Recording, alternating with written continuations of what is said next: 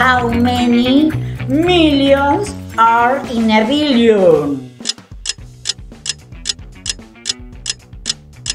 I don't know. I, I heard so many versions. Is it a million millions or a thousand millions? I have no idea.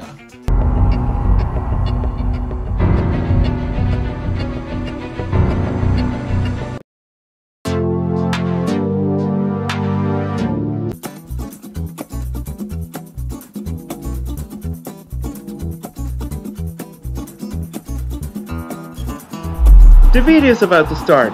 Don't forget to subscribe and turn on notifications. There we go!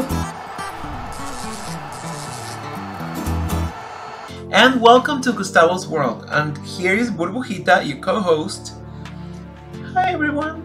And today we're going to touch a subject that I don't know, it's very curious to me. We're going to talk about billions. Because even though it's a number that most of the people won't be talking about because it's not in the reach of our economy or whatever, we're not governments, we do hear once in a while the term billions. And what is exactly a billion? Do you know? Well, it depends of what language do you speak and where in the world are you located. Millions, billions, trillions. The word billion was not introduced in the English language until the late 14th century. The word billion in the 15th century by the French and the word trillion in the 17th century. Even though this word came really late in the counting world, we're going to talk first about what words were used before we use the words millions, billions, and trillions.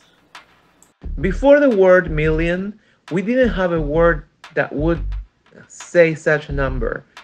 Yet in old Greece, in classic Greece, we used to have the word myriad.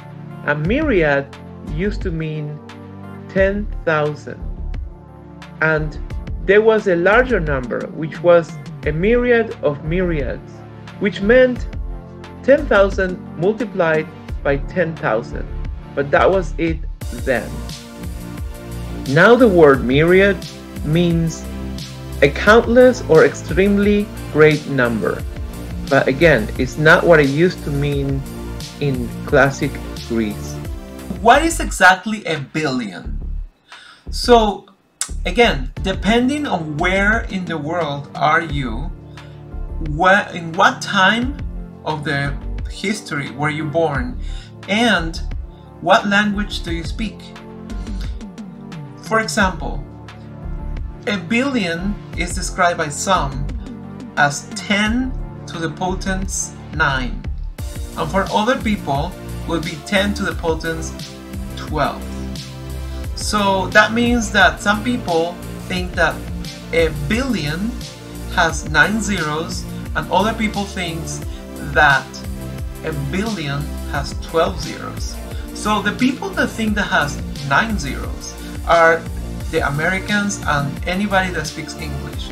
Even though in the UK in the 70s uh, they went from calling it from 12 zeros to 9 zeros. So there is a big discrepancy and you have to be very careful when you check into English documents that were written before 1974 actually because the values are different. And the whole mess came because of the emergence of two systems to count numbers the long system and the short system. So let's say that the long system was established in the world way before the short system. The long system was invented by the mathematician called Chuquet and he invented in which the prefix of the world would be in the Latin names like bi, tri, and by the suffix illion. So you will be having billion, trillion, quadrillion, etc. And the exponents of these numbers were increased by the million. So in this long scale, we have that 1 billion is the next potence after 1 million. So it would be that you have 1 million, you have the number 1, then you have number million, and then you have the number billion. But the billion is a million of millions according to the long scale.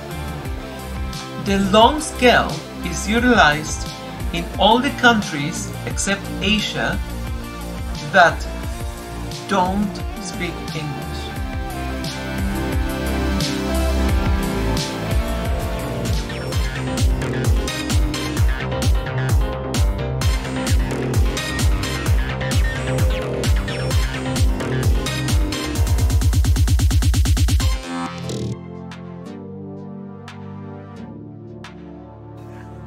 Basically, the short scale is a scale in which each exponents of the numbers go by the thousand. So the first number would be 1, the other number would be a thousand, and then the next number would be a million, and the next number would be a billion. But this is where things start getting out of whack because a billion, as you know, in the other scale, in the long scale, is 1 million millions. But in the short scale, a billion is 1000 millions. This is where the word billion in the long scale becomes in 1 trillion in the short scale.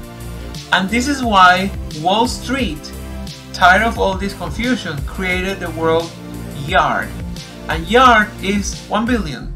1 billion which is uh, the same amount in all scale, numeric scales which is 1000 million. Well let's review the numbers in the short scale right? So 10 to the potence 0 is 1 10 to the potence 1 is 10 10 to the potence 2 is 100 10 to the potence 3 is 1000 10 to the potence 6 is a million, 10 to the potence 9 is a billion, 10 to the potence 12 is a trillion, 10 to the potence 15 is a quadrillion, 10 to the potence 18 is a quintillion, 10 to the potence 21 is a sextillion, 10 to the potence 24 is a septillion. This is my favorite part where we're gonna start counting in the numbers in the long scale, which is the one that to me makes sense. So 10 to the potence 0 is 1, 10 to the potence 1 is 10, 10 to the potence 2 is 100, 10 to the potence 3 is 1000, 10 to the potence 6 is a million, and so far it's the same. Well, this is when things get out of whack. It gets, it makes no sense to me. So now, 10 to the potence 6, as we say, is a million, but 10 to the potence 9, which in the short scale is a billion, we call it a milliard. And then 10 to the potence 12 would be a billion. And then 10 to the potence 15 would be a, a billiard. Then 10 to the potence 18 is a trillion. 10 to the potence 21 is a trilliard. And 10 to the potence 24 would be a quadrillion. So basically, what in the short scale is a billion, in the long scale is a milliard. You understand? But this is where we are. Very confusing. And then for us to understand why we're calling these numbers what we're calling it so in the long scale 1 million to the 1 is 1 million. 1 million square or to the 2 is 1 billion. So because the number bi means 2 right? And then 1 trillion would be 1 million to the third, and then a quadrillion will be 1, bill, 1 million to the fourth, and so forth. So you do you do you see how it makes sense in the long scale? Why we call the numbers the way we do? Uh, they just simply short out of place or coherence, I would say, in the short scale. Unless you were taught the short scale forever and you don't know anything else, and for you it makes sense. But now that you know why it was originally named so, it's gonna bother you probably. or not, but it bothers me because I wish everything would be in the long scale. Well, I hope that now at least you know a little bit more about billions, trillions, millions, milliard, right? It's good to know. I mean, now I hope you're not more confused. I am more clear actually, and it's depending on where you are that now you know what numbers they're referring to. So thank you very much for navigating with me in this numerical voyage or sojourn and I hope again that you're more clear about it and thank you very much for watching Gustavo's World uh, don't miss our next video which is gonna be fun as always and you're gonna learn something more about life in general. Usually I teach things that you didn't think you have to know but once you know them you're thankful you learned. Thank you very much and have a great time until our next video. And don't forget to subscribe comment share. Thank you very much.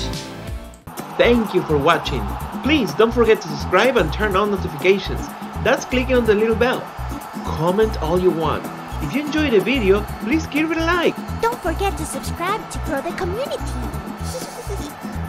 And also, don't forget to follow our social media. And if you want to go ahead and share this video in all your platforms, share the love. Till next time! Bye.